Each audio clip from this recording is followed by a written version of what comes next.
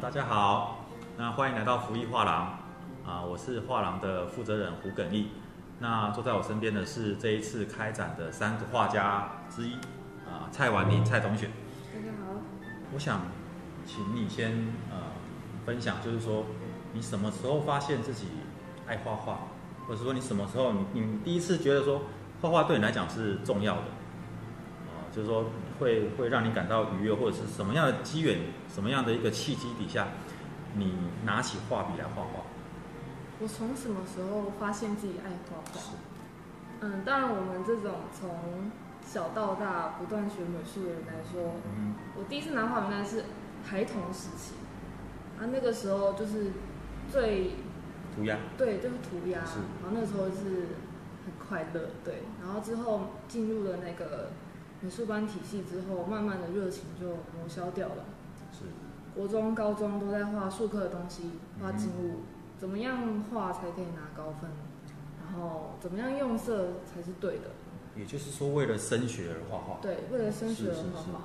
那到大学之后，我有一度非常讨厌拿画笔，对我觉得很疲乏，拿起来就觉得很不舒服，就我不想要再画是之前会让我觉得很不舒服的变成是画画对你来讲是一种压力，是这样吗？哦，压力是。是然后直到这个暑假，就是因为之前已经疲乏了，所以就开始做一些复合啊、装置、雕塑，然后可能就让自己休息。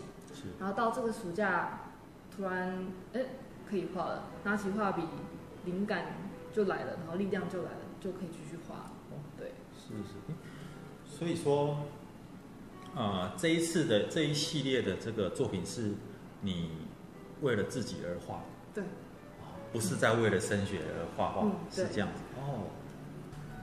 那在你这样子从小到大一路以来这样子画画创作的过程当中，呃，有没有去碰到什么样的瓶颈？最大的瓶颈就是像我刚刚说的，嗯我疲乏了，完全不想拿起画笔。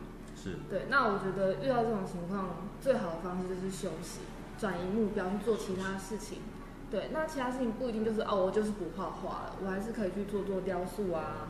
然后在做雕塑的呃过程遇到了很好的老师，然后看到了艺术的另外一个风貌也很好，然后走了其他路，发现哎，我还是很喜欢画画。是，对，你刚好提到这个老师哈，就是说有没有哪一位师对你的影响是比较大的？嗯，大学时期影响我很大有两位老师，一个是洪尚祥老师。洪尚祥老师，对，然后一个是张渊成老师，张渊成老师，对，然后洪尚老师是大学一二年级的时候有给我很大的能量的老师，他让我知道啊艺术的更高层次不一样的地方。那张渊成老师是在呃雕塑方面有给我很多的资源，然后帮助我很多，嗯算是嗯大学恩师。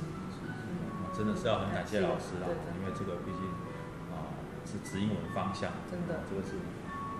谢谢老师。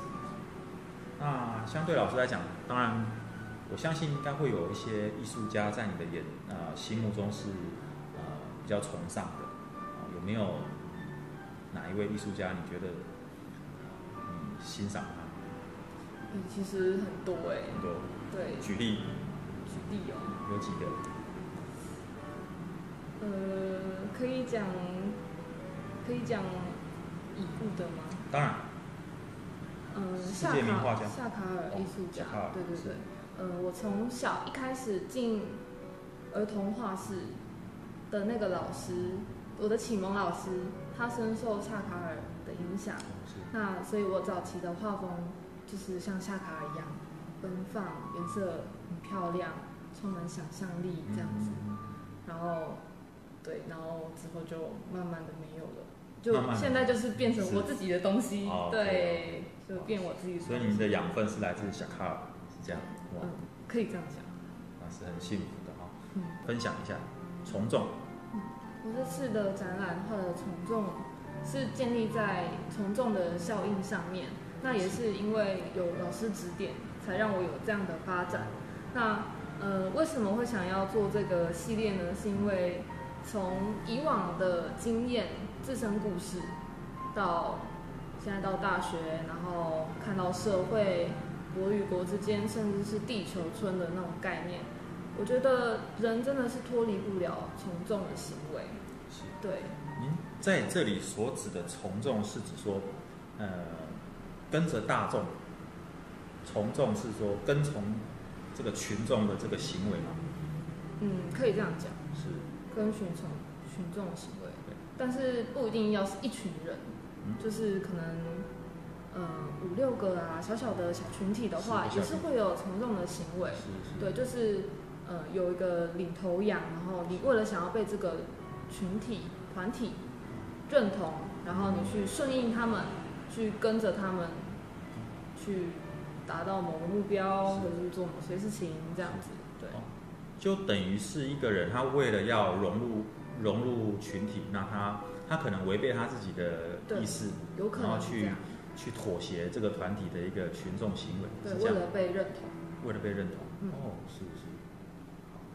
好所以这个是你观察啊、你刚刚以上所讲的这个对象，其实有可能是国与国，有可能是甚至小到一个一个一个同班班班级的一个小小团体，对，它都有这样子的一个从众行为的发生。好，那我想呃下一个阶段哦，我们会择日让这个婉宁呢来更啊、深入的从从众这个主题呢啊、以各个角度，以他每一张我们在这个现场所展出的这些作品呢，来啊、深入的为大家来做导览。那我们今天就呃这个访谈呢就到这边告一段落。那也很谢谢大家啊的关注，谢谢。